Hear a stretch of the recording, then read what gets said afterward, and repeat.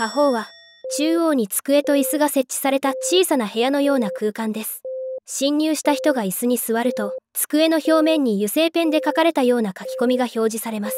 その内容は健康維持のために十分な水分を摂取するよう注意を促すといったものです。テキスト表示後机の上に水が出現し24時間以内に飲み干さなかった場合湿度が上昇します。湿度は消費しないごとに上昇し最終的に部屋は水で満たされます。